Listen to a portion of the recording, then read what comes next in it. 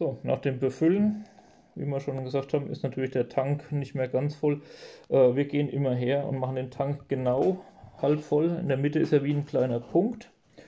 Und so weiß man dann auch immer ganz genau, genau bis hierhin. Äh, hier weiß man dann auch ganz genau, ähm, solange das Modell, so wie es jetzt ist ganz normal abgestellt, Schild ist auf dem Boden, bei gleicher Zylinderstellung äh, sollte ich natürlich möglichst immer den gleichen Ölstand haben. Wenn der dann deutlich abweicht, dann weiß ich, dass da irgendwo was undicht wäre. So, Öl ist, äh, Ölstand ist perfekt. Jetzt machen wir final, äh, stellen wir den, den Druck ein. Das sollte bei dem Modell zwischen ja, 15 und 18 Bar liegen und das Ganze stellen wir äh, entsprechend bei Vollgas ein.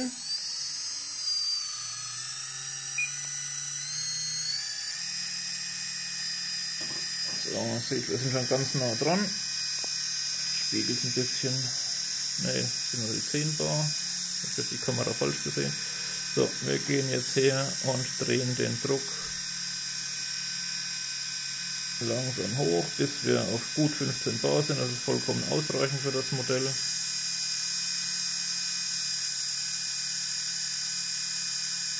So, noch ein bisschen. Jawohl, so. Das Ganze schwankt minimal, aber so ist perfekt zwischen 15 und 20 Bar. Und das ist der Maximaldruck und der wird natürlich äh, bei voller Pumpendrehzahl eingestellt. Danach kommen jetzt noch die Feineinstellungen. Äh, Manometer kann jetzt wieder abgenommen werden, weil der Maximaldruck äh, eingestellt ist, kann jetzt nichts mehr passieren. Und äh, Tankdeckel kann verschlossen werden und jetzt kann es an die Feineinstellungen des Modells gehen. Äh, der Pumpenmischer wird eingestellt. Dazu gibt es ja noch ein separates Video äh, bei uns auf dem YouTube-Kanal.